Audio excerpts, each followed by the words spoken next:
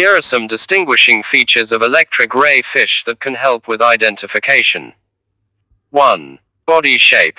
Electric ray fish have a flattened, disc-shaped body that is wider than it is long. 2. Coloration. Electric ray fish are typically brown or gray in color, with a lighter underbelly. 3. Electric organs. Electric ray fish have specialized electric organs located on either side of their head that can produce an electric shock.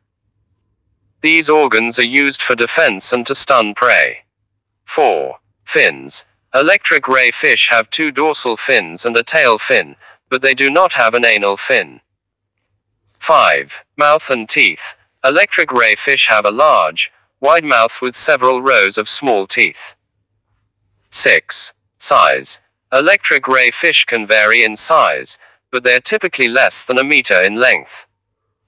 7. Habitat. Electric ray fish are found in coastal waters and estuaries in both warm and temperate regions around the world. 8. Feeding behavior. Electric ray fish are carnivorous and feed on a variety of prey, including fish and crustaceans. They use their electric organs to stun their prey before consuming it.